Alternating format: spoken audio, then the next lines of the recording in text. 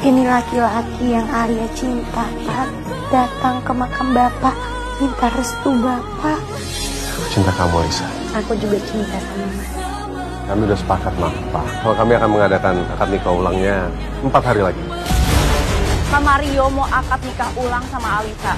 Aku nggak bisa biarkan hal ini terjadi. Iya, kamu ngapain sini? Amara tuh ngajakin aku nginep di rumah kamu. Di adegan nanti malam, sepertinya Mario dan juga Alisa akan pergi ke makam orang tuanya Alia.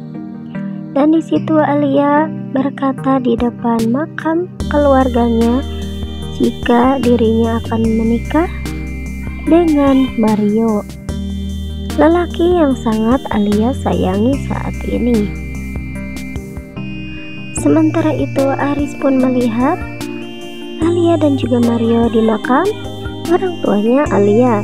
Itu Aris sangat mengingat masa lalu ketika Aris bersama dengan Alia.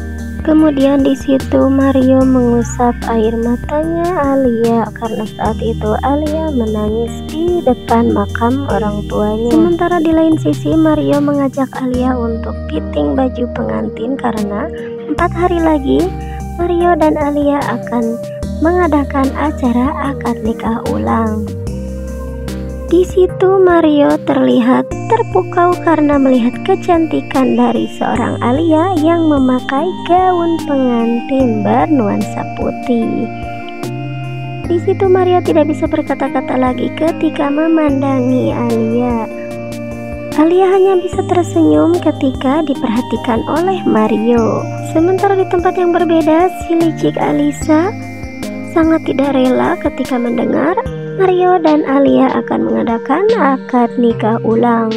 Karena sebelumnya Mario sempat meminta izin kepada ibunya Mario untuk mengadakan acara tersebut karena sebelumnya sempat tertunda. Namun si Alisa ini berniat licik lagi karena saat ini Alisa akan menginap di rumahnya Mario untuk menggagalkan acara pernikahan ulang tersebut ketika Mario bertanya mengapa ada Alisa di rumah. Dan di situ Alisa menjawab karena Amara yang menyuruhnya untuk menginap di rumahnya Mario. Nah, makin penasaran kan dengan keseruan alur ceritanya? Saksikan terus sinetron tertawan hati setiap hari hanya di SCTV.